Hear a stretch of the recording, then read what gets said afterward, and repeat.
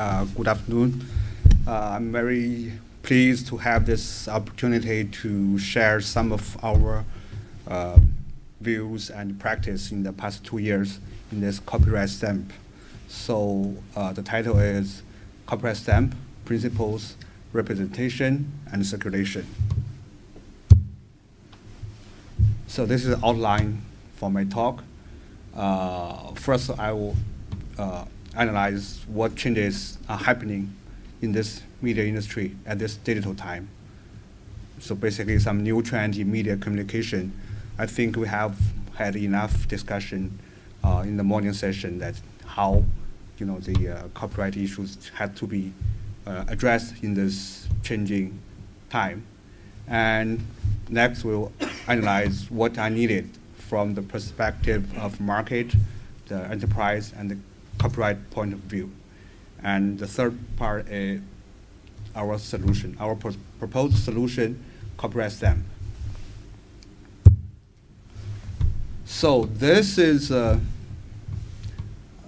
a little bit uh, over two months ago, the last print issue for Newsweek for over 80 years. So it comes to the end. So it, the Newsweek will turn to digital uh, distribution only, no print issue anymore.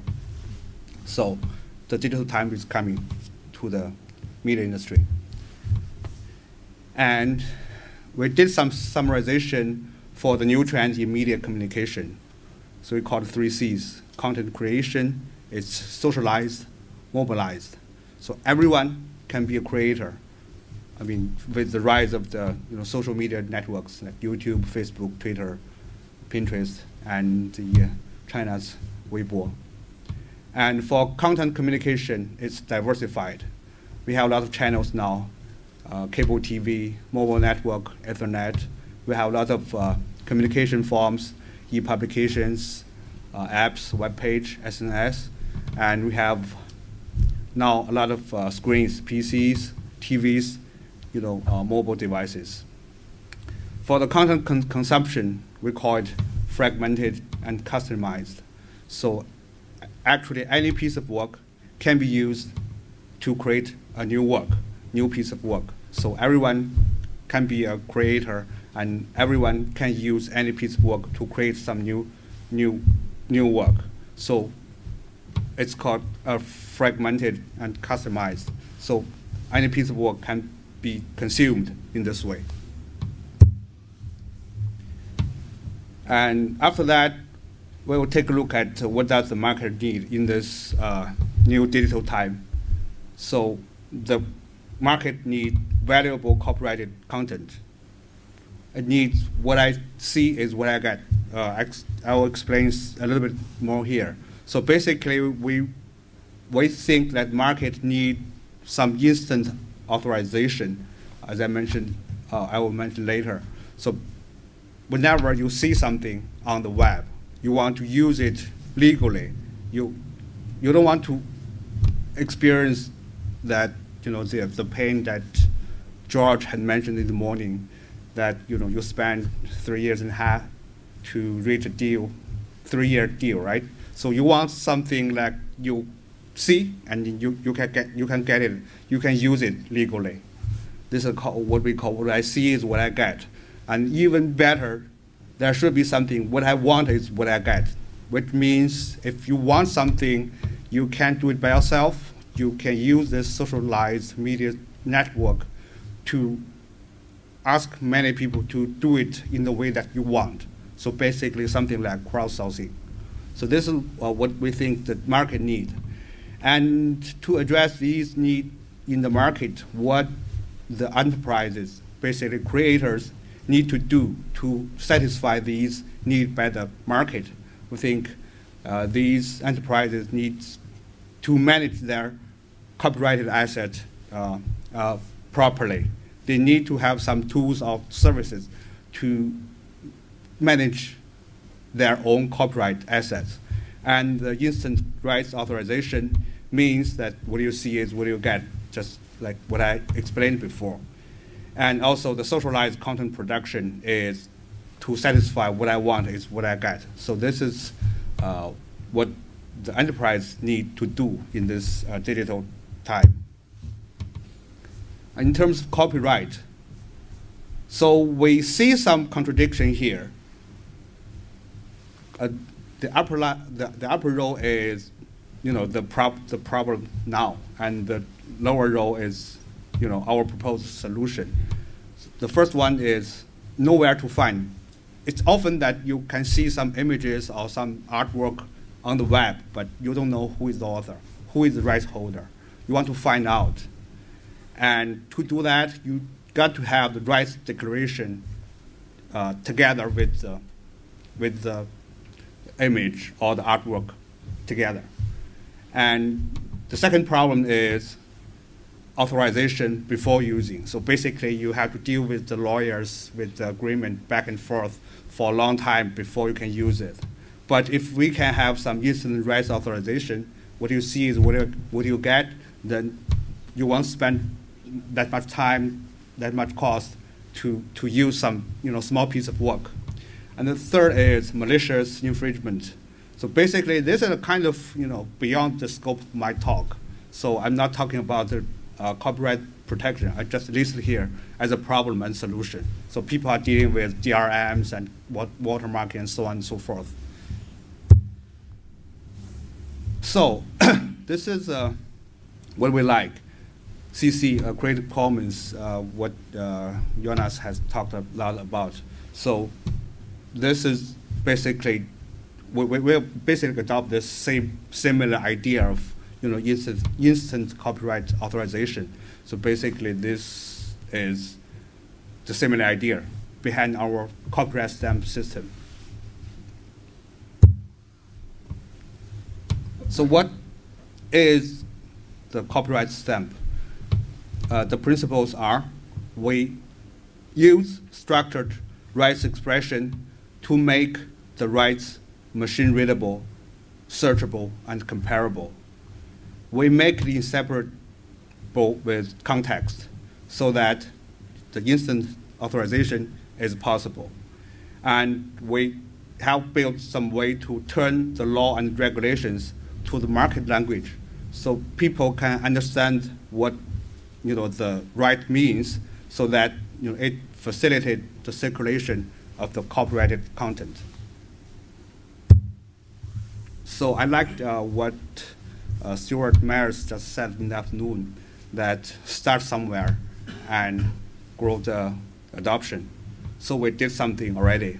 So this is uh, this representation page, what what we have done for the copyright stamp. So uh, we can see a picture, and we can see the the uh, the caption and the description uh, of this picture, and down the line here, uh, the rights information and how you want to the users to use it. Basically, uh, you want it to use by a publisher you want to use it by uh, some uh, web page and so on and so forth. So you, you can list all the information here. It's all structured. And on this side, you, we have different forms of uh, representation for the copyright stamp. It, it can be a link, short link. It can be some embedded code. It uh, even can be a QR code or watermark.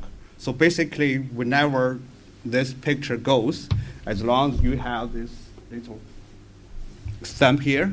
You can scan it or you can click it and go back to this page. You can find all the rights information and authorization information and even the price information here in this representation page.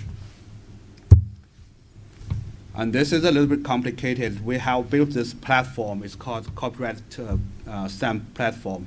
In the middle is a database and we provide a list of services uh, for the uh, for this for the user of this platform. So from this side, from from the management point of view, we have a lot of you know, your inputs into the system, and for output, we can do either exchange, some corporate transaction, or we can organize some um, uh, socialized work together, like crowdsourcing.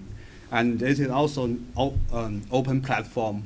We have open APIs for a lot of uh, third-party applications. So basically, it's a kind of ecosystem so that people, you know, dealing with the copyright can work on this platform.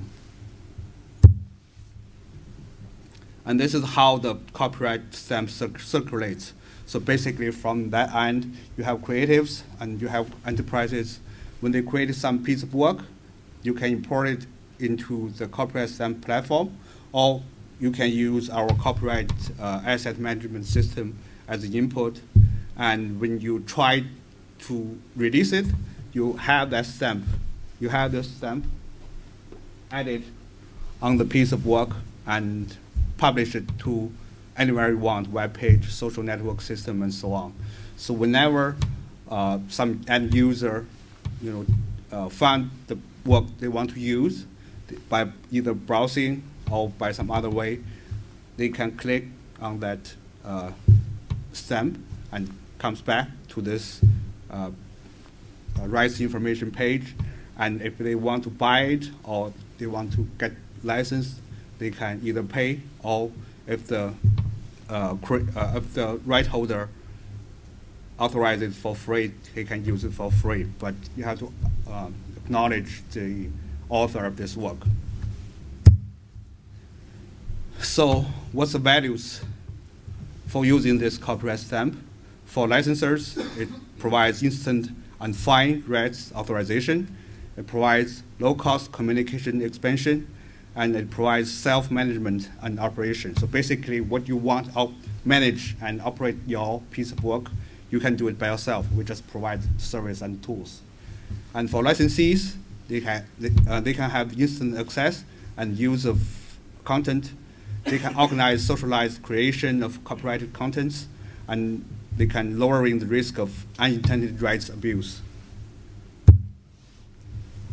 So this is a real example we have built uh, it's called the China Image and Video Copyright Bank. It's a collaboration of uh, our company and the Xinhua New News Agency. They have over a million uh, historical archival images in their database. So we have up uh, show some examples here. So basically, you know, all the images you have the rights information, uh, authorization information, and pricing information here for each image. People, if they browse uh, through this website, if they want to buy, they just by clicking, we finish all the all the procedures for the purchase. So last, uh, some introduction about our company. It's called Beijing Copyright Bank Tech Co Limited. It's about uh, two years old, and we are actually a bunch of engineers so we are not so good at you know standard and so on. So I'm very pleased to be here at this IPTC meeting. And we have some uh, good technology though. We have that copyright marked language. It's kind of similar to the uh, RightsML, but uh, we have something else. It's not so you know so good standardized, but we tried we tried our best. And we have this first copyright clause it's uh, first SaaS provider for focusing on corporate service in China. And our resources, uh, we are actually supported by the government, uh, National uh, Copyright Administration of China, uh, Copyright Society of China, and the Copyright uh, Protection Center of China. And our industry partners include Xinhua News Agency, some media, large media groups in China, and some publication, publication group.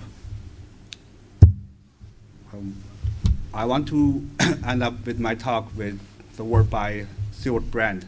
Information wants to be free. Information also wants to be expensive. It all depends how you define it. Thank you.